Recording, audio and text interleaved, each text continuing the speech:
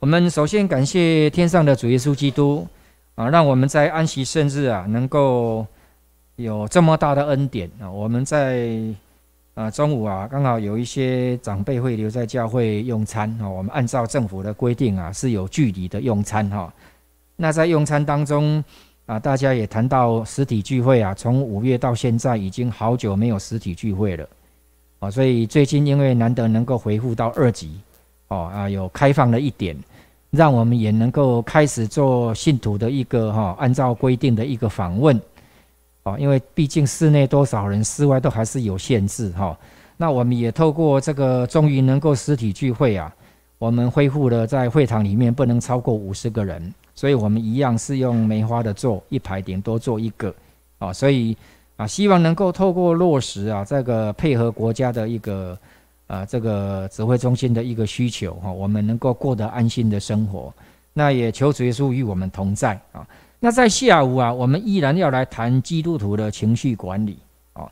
其实管理自己啊，是最难的啊。我们常常别人常常觉得说啊，你的情绪要管理的哈啊，其实哦，叫别人管理自己看似容易哈，其实管理自己才是最难的工作。如果我们能够去妥善管理自己的情绪啊，我们跟人的相处啊，其实是会很愉快的。好，那我们首先来看圣经在四世纪的十二章，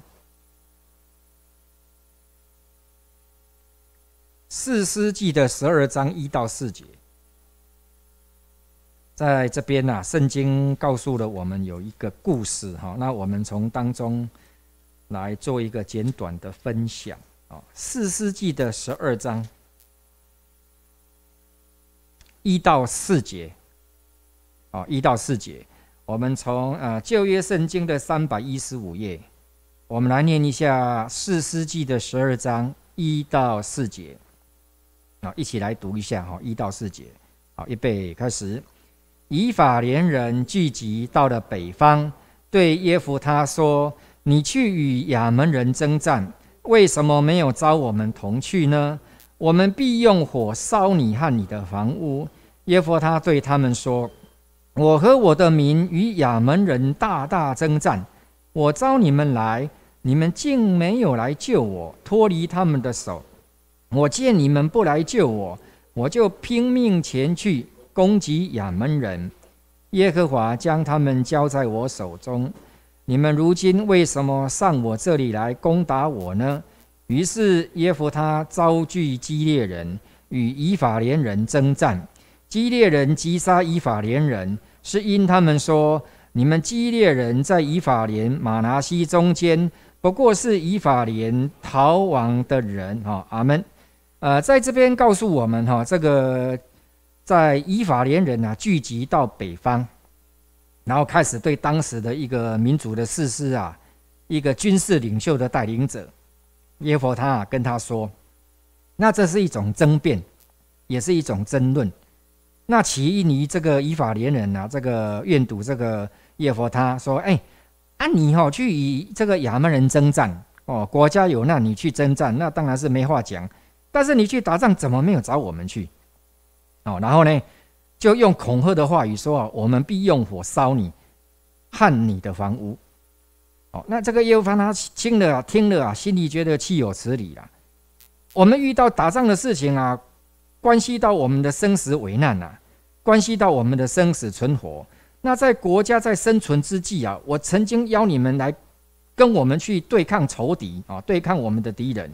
哦，结果我去招你们，你们都没有回应。也没有来帮我救我们脱离啊这个仇敌的手，那我看见你们啊来都不来，那我只好拼命啊带他们前去打仗啊，攻击这个亚门人。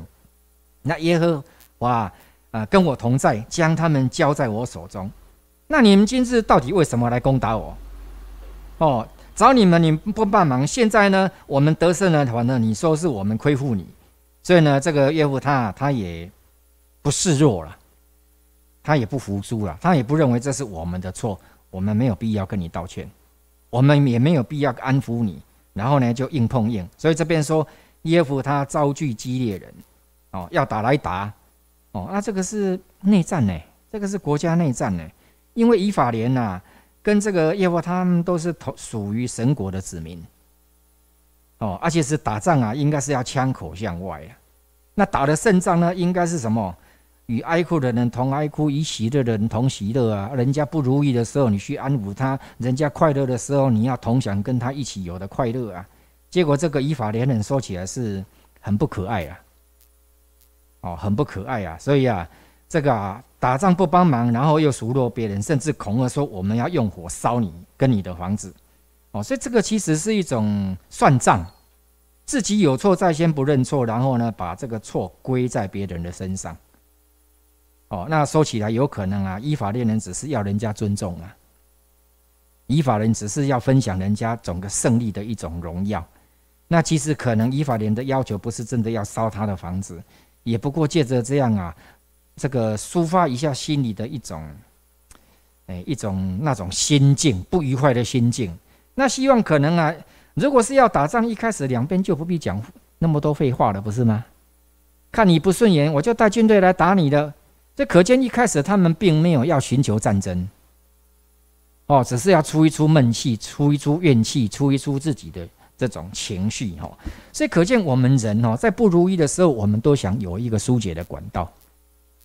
啊，有时候，所以我们有时候家庭生活、教会的生活、人跟人的人际关系。呃，不可能，你你同你的同事每天都是晴天，那毕竟每个人在家有家，家家有难念的经，对不对？当然，我们还有圣经，我们是家家都在念圣经了哦。啊，但是对于那些其他的人来讲，呃，很多非基督徒啊，他们在情绪上的一种管理，其实是很困难的一种选择。那包括我们信了耶稣，我们知道说我们要好的情绪，但是呢，情绪一来啊，谁也控制不了，所以有时候。每个人的心情啊，昨天是晴天，今天就是阴天，明天就刮大风下大雨。所以在我们心境不好的时候啊，可能我们会借此向我们最好的朋友表达一下哈啊，你抱歉了哈。有些可能因为太熟了，也没有跟你说，哎，对不起，你今天做一下我的垃圾桶，我先倒给你，你就忍耐听一下啊。如果真正的好朋友，可能讲一下，应该我们会愿意的。但是很多人呢，可能他是用一种。不是很委婉，或者是没有先告知你的环境之下，他就向你宣泄他的情绪。那其实他宣泄这个情绪，不是要找你的麻烦，而是他可能没有这种更好的方法跟管道来疏解，所以他倒给你，他也不知道到底你怎么去接这个招，对不对？这种宣泄情绪的事情，好像在球场上，一个是投手，一个是捕手，那问题是投手丢出来的球要能够捕手接得到啊。啊，啊接不到就是爆头嘛，对不对？啊，打到人那个叫什么畜生球嘛，哦，啊结果呢，如果能够接到又是好球，就把对方三振，哦，所以呃有时候宣泄情绪呀，你要看那个对象能不能接受你的情绪。第二个，当你宣泄情绪是用一种比较阴险，或者是用一种比较极端的方式，哈，要接你情绪的人其实也很难去应对啊。我们不要认为说，即使他跟我最好啊，我跟你宣泄情绪，我不要考虑你的感受，我只要尽情的宣宣抒发我个人的情感。有时候哈，再怎么好的朋友哦，容纳我们的情绪当垃圾桶啊，垃圾桶也会满啊。哦，所以呢，这个朋友之间、同龄之间呐、同事之间呐，宣泄情绪啊，可能要先知会对方。哦，那我有一些不开心的事情，不是你啦，不是因为你啦，但是我今天心情实在不好，哎，你能不能给我一些意见？哦，我又不能随便向人家发火，但是我已经忍耐三天了，哦啊，大概是因为三天前哦，那个老板骂我，那我觉得这不是我的问题呀，这是某某人的同事，那又是我们当中的同事，那我又不能跟老板讲说这是他的问题，不是我，那讲出去可能问题又更多，老板去追究他谁爽？我说的哦，他在摸鱼哦。而且问题是他搞砸的，不是我，那就造成同事更大的问题。那我该怎么办？哎，可能你身边的第三者，你如果好好跟他讲，而不是莫名其妙就把台风刮大风、下大雨、闪电去电他，然后他觉得奇怪。我是你的好友，你今天是怎么样？发脾气也没有跟我解释，好像我哪里得罪你。所以人跟人哦，如果不作为一种适当的解释啊，会产生很多的问题，会产生很多问题。所以应该事先告知。我有情绪，对不起，但绝对不是因为你。但是，请你为我祷告，啊，你最能够了解我，所以我目前我也不知道有什么方式来面对。啊，那我讲一下我心中的一种一种怨气哈，一种不要说苦读了，那太严重了哈，或者是一些很不能谅解的地方，你们能不能给我出个主意呀？好，那如果有些同事不能解决你的问题，在教会总有你最好的同营同龄吧。我有一些事情需要你带导。好啊，哎，有某个弟兄、某个姐妹，刚好他工作跟我是很类似的。那在你的环境里面遇到这样的问题，那你怎么样去处理？这个就是我们从当中哦，我们可以去了解的所以这个依法猎人聚集啊，他是要透过势力去压迫耶和他，让他能够去安抚我们。哦啊，像刚刚讲的，如果一开始是要战争，那也没什么好话可说了，就直接打了。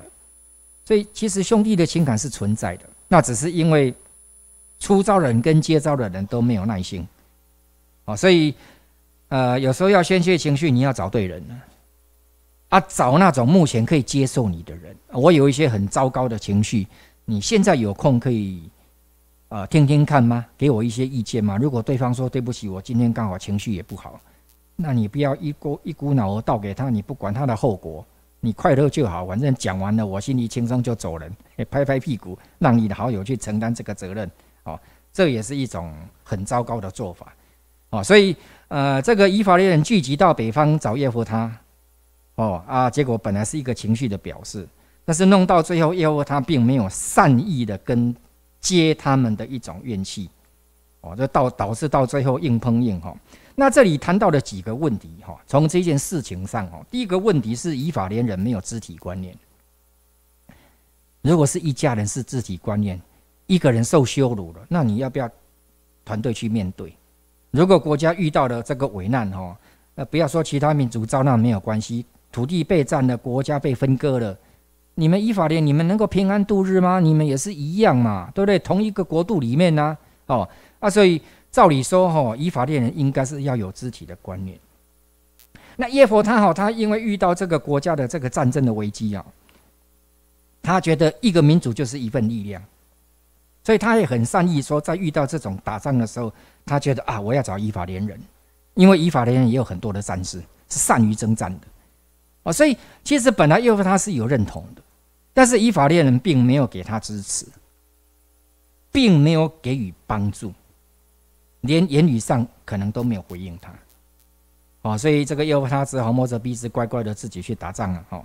那第二个呢？呃，不只是依法律没有这种肢体的观念，第二个是你无理还兴师问罪，枪口不是同一个阵线，同一个枪口对外，反而是在遇到这个危难解决之后啊，他们把枪口哈来向这个耶和他哈兴师问罪。哦，那我们是很难理解的哈，天底下怎么有这么无理的人？找你帮忙你不帮忙，等我们把事情完成了，你要邀功哦啊，或者是邀功那还好啊，但是你讲的话也未免太过分的吧？烧我的家，我跟你有什么仇啊？我今天哪里得罪你？你们不帮助我那就算了，我也没有带兵去打你们，你们竟然说要烧我的家，烧我，那你不是要毁掉我吗？哦，所以这种无理的兴师问罪，哈，真的天底下有这种人吗？我我不晓得哈。我们弟兄姐妹，你看过这样的人吗？哦，第三个呢，只要同甘，不要共苦。人跟人相处就是有这种人，对不对？苦难的时候他不愿意承担，但是呢，当你成功的时候，我也要有份，这是我的要求。所以呢，只想分一杯羹，要一个面子，要有一个下台阶。可怕的是什么？只想坐享其成这人跟人的相处有时候是很现实的，在我们的人际关系里面哦，可能会碰到这种没有团队观念的，然后碰到这种有事情我你要担你不担我找你算账，那碰到这种呃只能在成功的时候跟你分享荣耀，但是他不要在你受苦的时候同你承担，哦，就是有这样的人，所以业务他哦他也不能忍啊，对不对？你没有肢体观念，你兴师问罪，然后呢你要同同甘不要共苦。啊，没卡米奇要打就来啊！我有军队，我才刚打赢，我这个是哦胜利之师啊！要打生死还很难讲嘞啊！我可以肯定神是跟我同在的哈，那这个就很可怕了哦。所以要惹人哈，你也要掂掂自己的斤两，对不对？你要惹人家，是不是要看看自己斤两多重？你碰到一个神同在的一个军队啊，你没事去找他的麻烦；你碰到一个成功的人，有一个很庞大的势力，然后你无关无哦无缘无故去惹他，弄得自己呀一声惨兮兮，然后你才怪说啊，为什么他对我这样？问题是你对人家先没有好口气啊。问题是你自己呀，偏去无理找人的问题，然后呢，当人家报复你的时候，你才说，哎，他为什么对我这样？嗯，我对你有这样吗？啊，怎么会没有？啊，所以呢，呃，耶和他的怒气填胸啊，召集了这个激烈人跟他打仗啊，所以我我们在人的这种相处上面哈，其实要很注重哦，就是第一个，我们有没有同仇敌忾；第二个，我们有有没有同一艘船。那你看，遇到疫情的时候，不是大家都在讲说我们是同什么疫情啊？对啊，这个哎，对这个你们讲的很好，同岛一命嘛，一个岛而已啊，你还能够跑到哪里去？以色列人呢，他们在六日战争，在这个啊，在这种以前的这种战争的生活里面，他们真的就是类似同岛一命啊，因为他说，如果我们不团结。四维全部都是当时了哈，我不知道现在了。四维当时都是我们的敌人，那时候埃及跟他们也是敌人，不像现在埃及跟他们是有签约，两国和好的。以前打仗的时候是很惨的，叙利亚跟埃及，还有苏联的军队跟军备进入到这些国家，然后来对来打以色列。那一个口号就是把他们什么，让他们从世界消失。现在有一些国家，他们还立志要让以色列这个国家从地图上消失。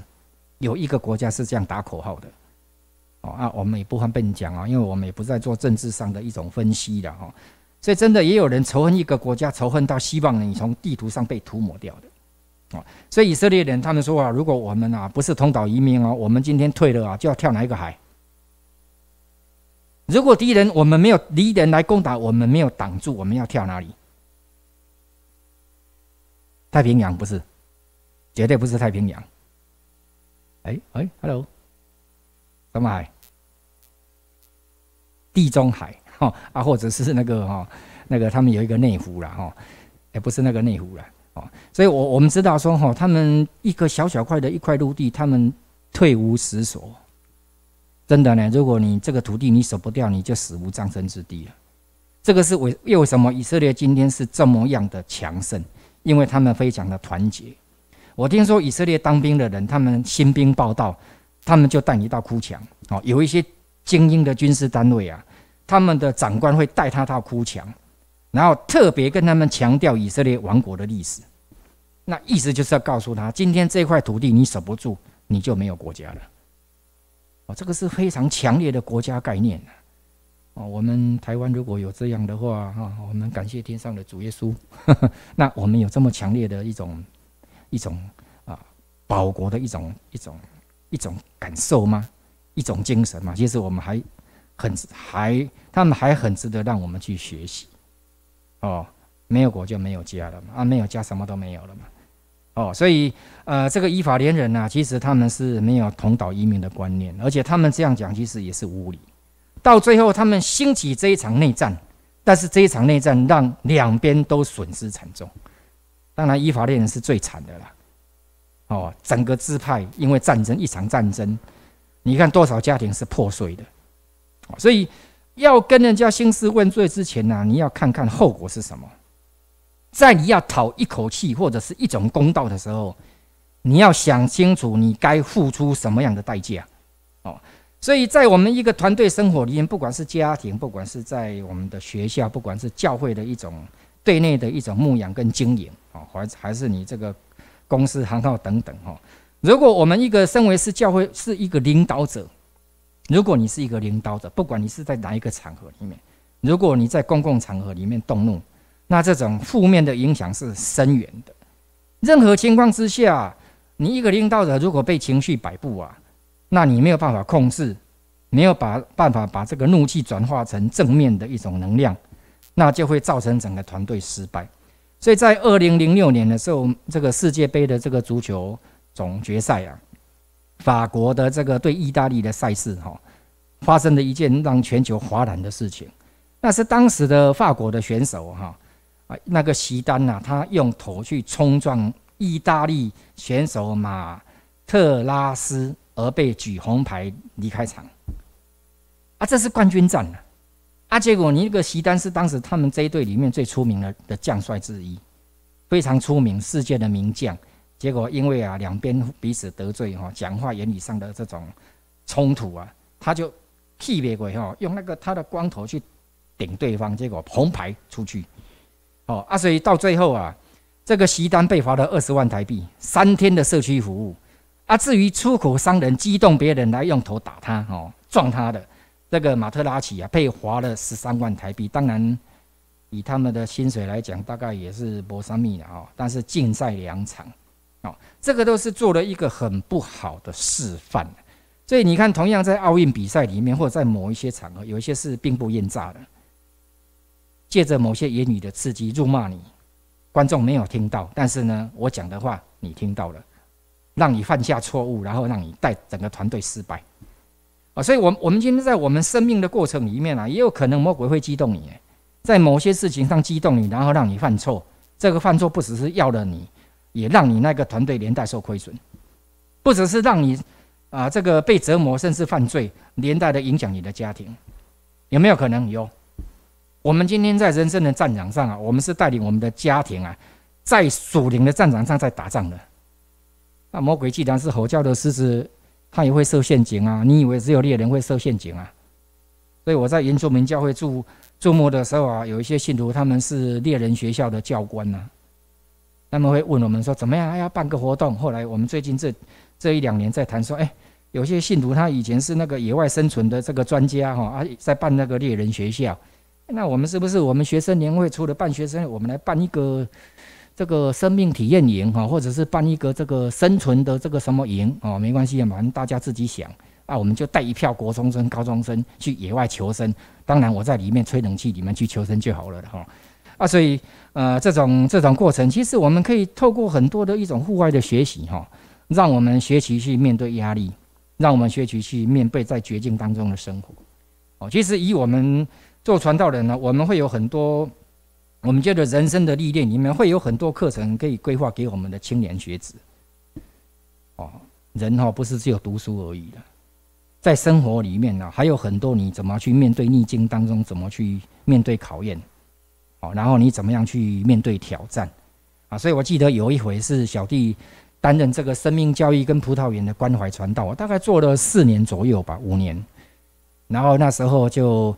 呃，跟就去关心了将近三十间学校，然后每天就是去跑校园，去学校里面跟这些孩子上课。啊，有些根本没有去过教会。哦，那我们去这种地方去服务啊，对我们传道也是一种学习呀。哦，那很好玩啊！我们有那个童工哦，说去上课四五分钟道理全部讲完，过来你再被贡献来。那在学校上课，我们有做老师一定知道嘛，跟你在教会上课是不一样啊。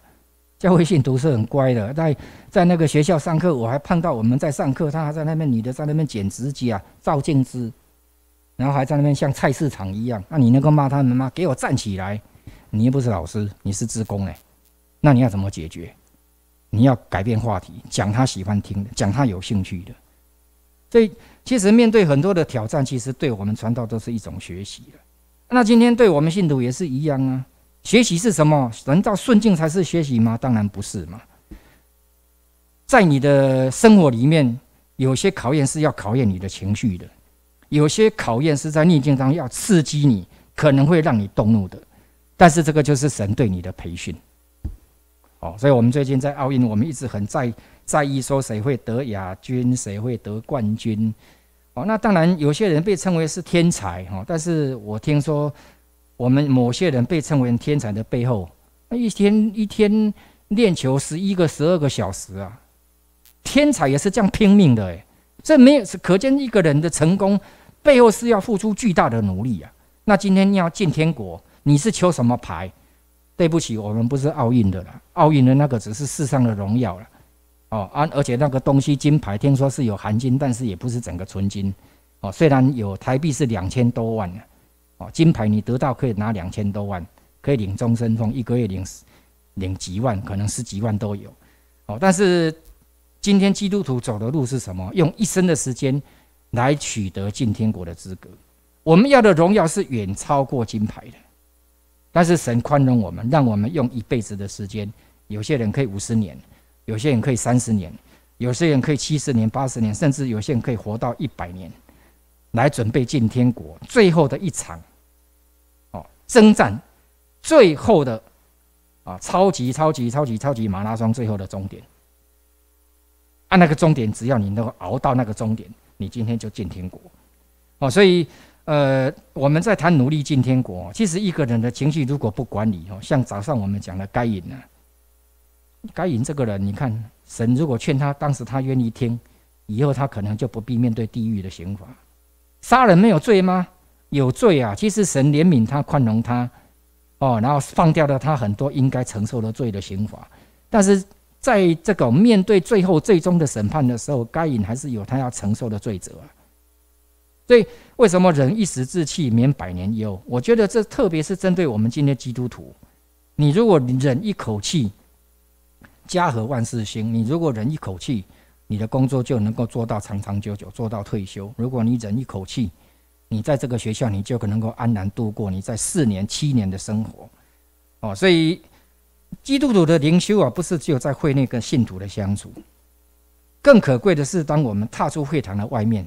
你是怎么用你的灵修高贵的情操，跟外面的人以基督的爱跟他们相处，而获得他们对你的称赞，获得他们对你成为基督的门徒有基督的这种美言善行，对你们人生更大价值的一种肯定，这就是我们心中的喜乐，这就是我们的冠冕。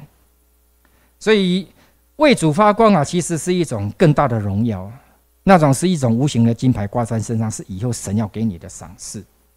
那我们在这个 圣经里面雅各书一章十九节啊，我们再来看一下哈。但你们个人要快快的听，慢慢的说，慢慢的动怒，快听慢说，慢慢的动怒。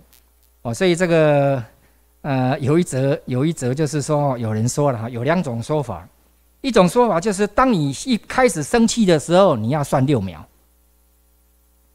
好，我们试试看哈。如果你今天回家，你的儿子万一给你考个五十九分，而且连三年都是考五十九分，当你快要爆发的时候，你先算六秒。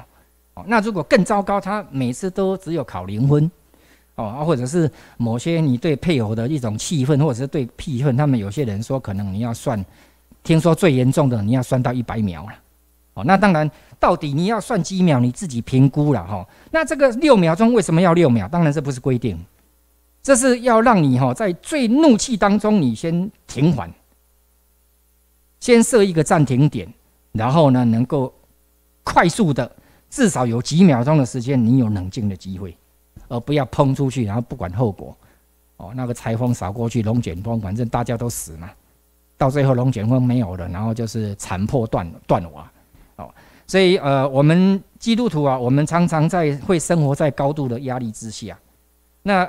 压力高，但是我们也要常常要妥善的控制我们的情绪。所以，当你出发去上班、出发去工作，你要祷告，真的祷告有差。而且有些人他在发怒气的时候，他心里就一直主啊救我，主啊救我，主啊帮助我，帮助我不要犯罪，生气不要犯，主要帮助我不要因为我憋不住，我出了一句伤人的话，破坏了我跟老板之间的情感，破坏了我跟同事之间彼此的信任。有些人就会拼命祷告。把自己压抑下来。我曾经碰到有统领是这样的，他说只要他情绪开始不不呃有一点起伏的时候，他就拼命祷告。那很奇妙，他说祷告到最后就平静。这是一个姐妹，我听过她的见证。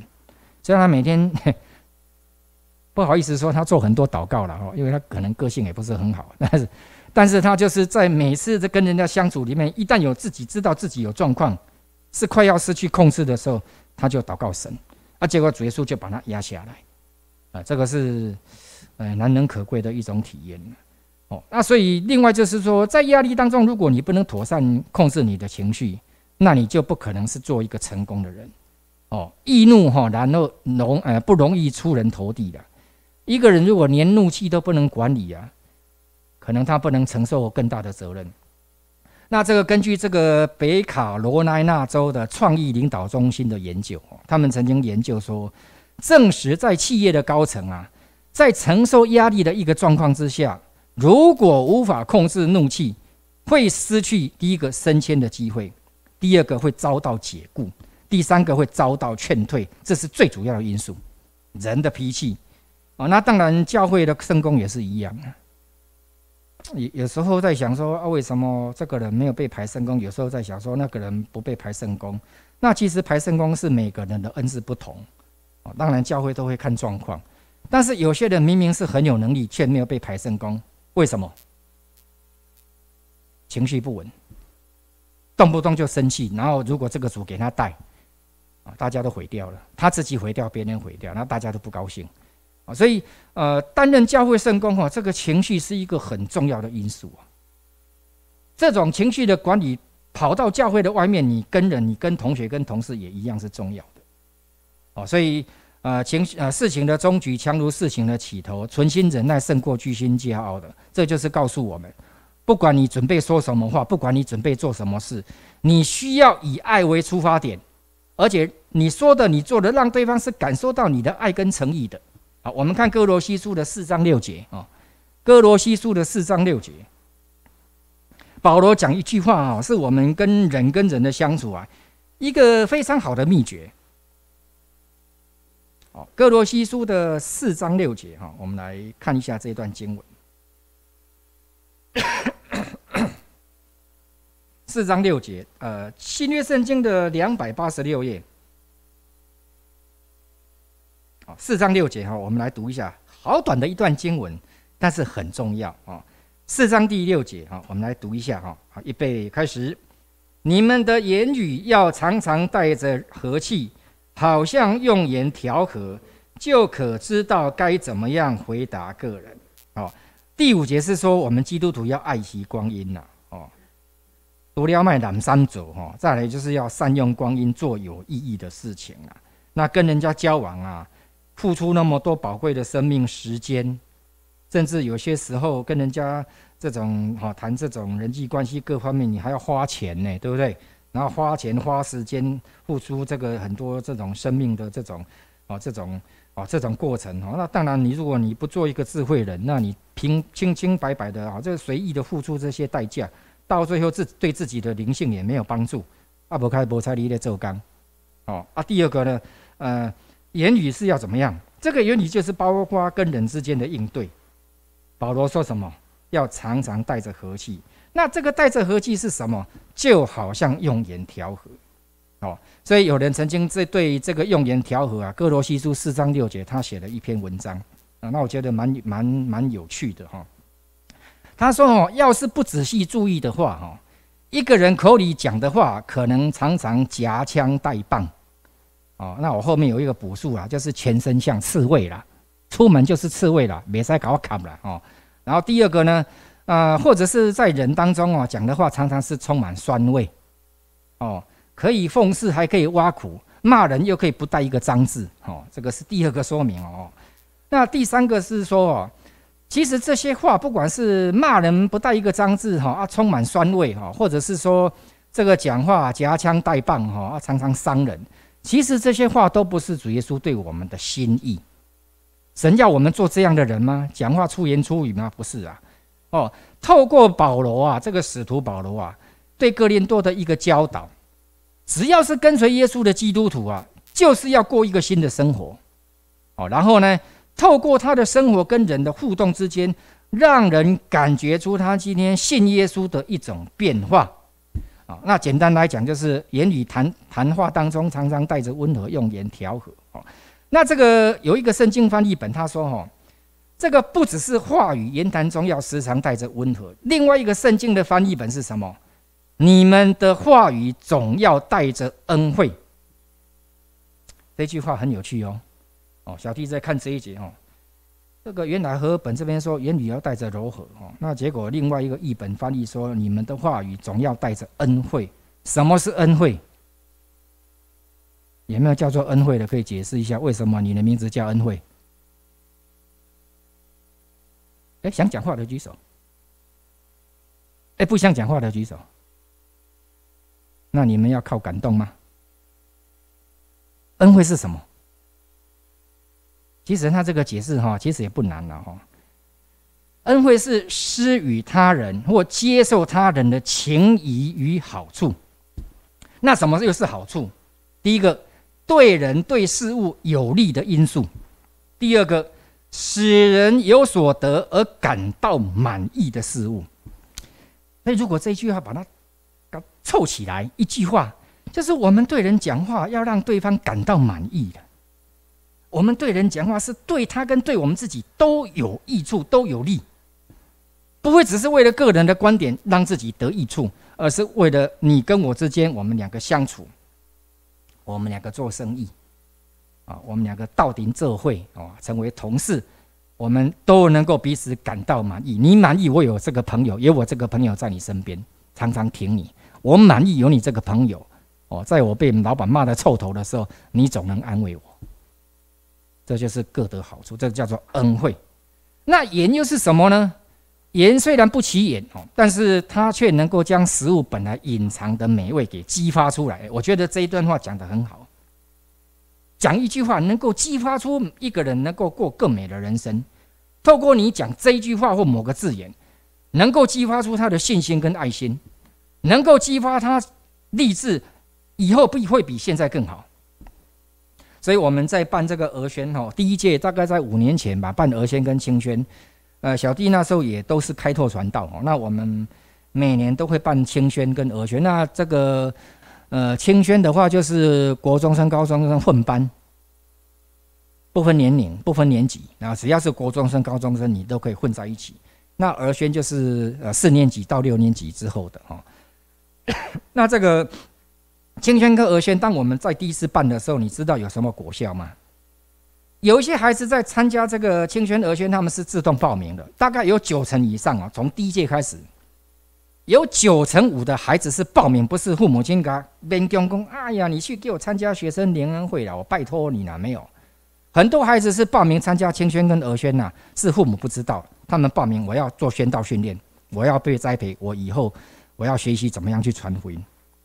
这个是五年前我们在罗东教会在办第一届哈，好像是五年前，如果我没有说错的话啦，哦，四年前到五年前，哦，我们借罗东的场地在办清宣营跟鹅宣营，哦，啊，其实每一年在办有很多神奇奇事，有那个祷告的时候看到天使，哦，啊，那个在罗东教会要孩子们要出去哈，去发传单到课到那个到公园里面哈，分不同的小队，然后每个小队啊有他自己的方法来传福音。有些借着跟这个观光客玩游戏，那把耶稣介绍给他。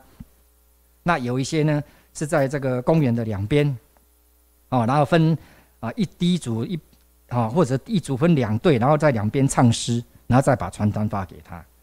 哦，那从这个这个福音的过程去学习。那我记得有一次哈，我不晓得是哪一届哈，有一次当他们在会堂集合要出发的时候，他们看到什么？他们看到天使。然后他们看到什么呢？在有有一回看到异象中，看到他们穿着全副军装，孩子们哦，哦，然后呢就排队一队一队的出去。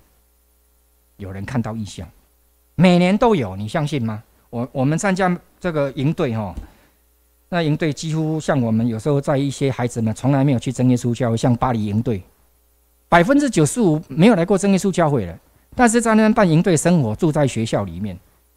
很多人祷告，一个一个得圣灵，从来没有来过教会的人，甚至他们在祷告当中看到天使在唱歌，然后祷告当中看到有风吹来，那小朋友问我说：“哎，传道，为什么我祷告的时候看到有那个台风很强的风？”我说：“你们要受圣灵了，就有人得圣灵。”啊，所以我看到天使在 solo 了，看到天使成为诗班在唱诗的，哦，好多恩典哦。所以啊，其实哈，那我小弟是要强调说，参加这些。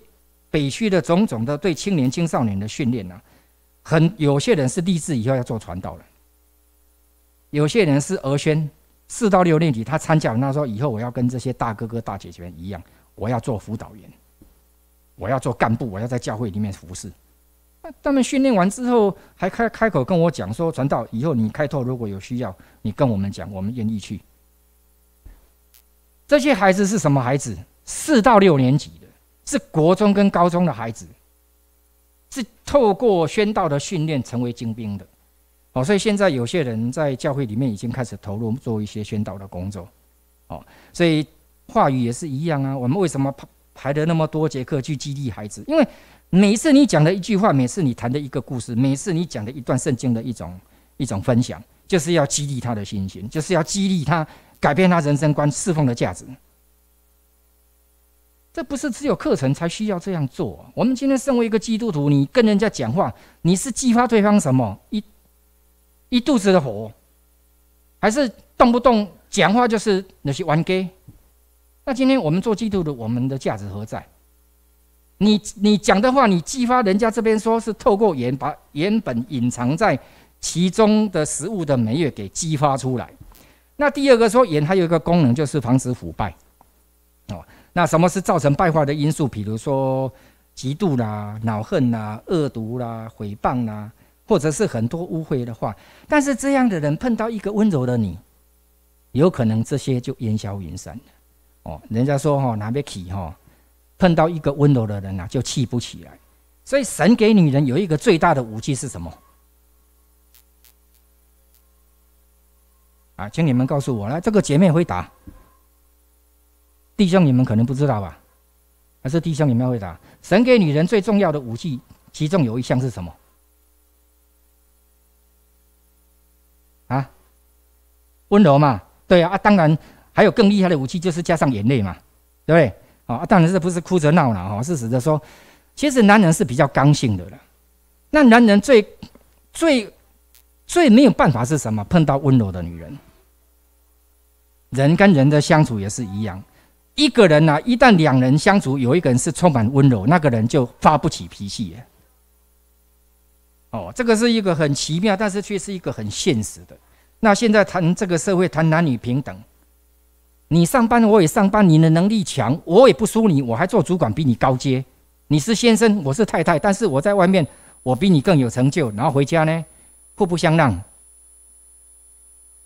这不是基督徒的精神我们不会把外面那一套带进我们的家庭，我们也不会把外面那一套带进教会。我们今天基督徒的生活，我们就是温柔。其实当然不是只有女人，我觉得男人温柔也很重要了。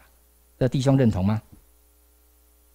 哦，你们也不能说 no 啊，对不对？圣经里面要求大家，耶稣是温柔的嘛。那耶稣他是我们的天赋嘞。以男性的角度来讲，他况且是温柔的。那我们今天即使是弟兄，我们也要跟女人一样啊，大家充满这种哈盐调和的一种语气。哦，所以呃这边说盐调和过的食物哈，会去除细菌的污染跟干扰，甚至你可以透过盐把它做成一种腌制品。那不但是能够防腐。还能够增加丰富的滋味。这讲话是一种艺术啊，讲话是一种终极的灵修的考试。斗笠听戏怎尼呢？讲话今天还是讲到哈，让人家没好笑哦。啊，讲到到最后气心都没啊。那无猜咱大概的信耶稣了，信耶稣又怎么样？讲话还不是一样没改啊？话都没改的人，怎么可能内在会改变呢？这个是一个很困难的事情。哦，所以我们今天的一个改变要从谈话开始。所以雅各书说，如果我们讲话没有缺失，我们就是完全人。这句话是真的，因为讲话是最难控制的。哦，所以这个圣经里面说啊，好像那个船的舵，你看那个船那么大，舵那么小，一个小小的舵就能够控制船的方向，让它跑到应该去的方向。那你怎么控制你的人生？你怎么样控制你的遭遇？你怎么控制你的结果？就是你的话语，你的话语。哦。所以 最后我讲一个故事，就来告结束哦！以后再继续讲哦，时间有限。有一个有一个做过女服务生的一个年轻哈时代的一个年轻人，然后呢，他第一天上班，他很紧张。那不过他在实习之后啊，他觉得这个工作也不是太难啦，薪水也不错啦。但是在这个上班的过程当中，他最讨厌的是什么？他说：“哦，但是我唯一讨厌的是某些顾客的态度啊。这些人一进大门呐，就很挑剔，很多挑剔，然后对服务生傲慢无礼。然后呢，他们不满意座位的安排，批评菜单没有他们想吃的食物，价钱又很贵。那这些顾客对什么都喜欢来批评一顿。那这个这些客人叫什么？两个字。”哎，你们都比我熟悉哈，谢谢你们。OK 哈，然后呢，这个食物不过食物送来之后呢，他们又很亲切的手握手，然后高声呢赞美天上的神做见证。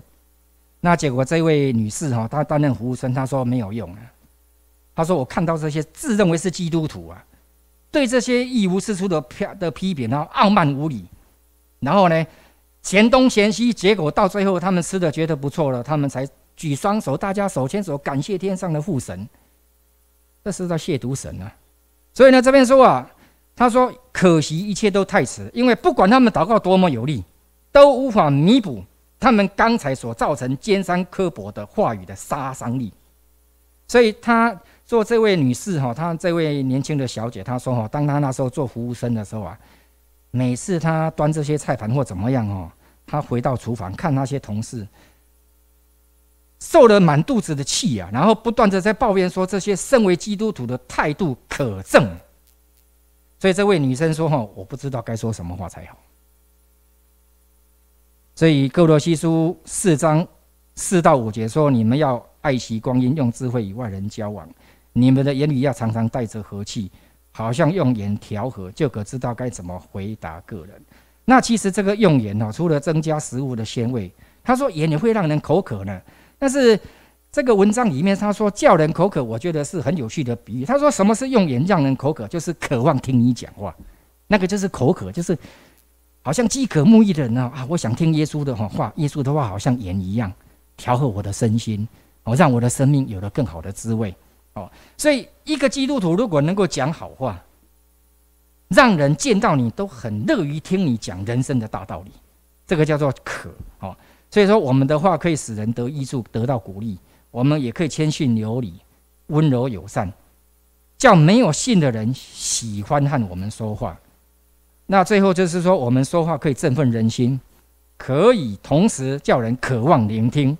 当我们向他们分享我们心中盼望的缘由的时候，尤其是聊到耶稣对我们的改变，他们乐于聆听，这就是我们的一个成功的人生哦。所以希望我们讲话是要有哦言调和，那怎么去调和？透过我们刚刚简单的解释，我们去修炼自己的嘴巴。一个人嘴巴管不好啊，也不太会成功啊。不是说没有成功的可能啊，但是。人跟人的人际关系都破坏掉了，家庭怎么幸福？教会怎么显出基督的爱？人跟人怎么能够大家能够去体会到你信耶稣真的有耶稣的爱在你身上？对，那被彩西尊跟人家斤斤计较，然后呢啊不如意破口大骂，然后有一天来到你家啊，因为你的邀请去你家哦，你是基督徒啊啊是什么教会的？是一二三四五。所以呢，呃，这个就是很大的讽刺。而我们讲话如果不修炼呢，要叫人信耶稣是很难的，是很难的啊。所以希望我们大家都能够在言语上啊，我们互相带导哦。因为你跟我，我们都有脾气，我们有不好的时候哈，但是我们互相赦免啊，互相包容，互相接纳，那互相带导。那我们有彼此有一些不完美的地方，我们互相鼓励，我们就会进步啊。我们来唱诗一百八十七首。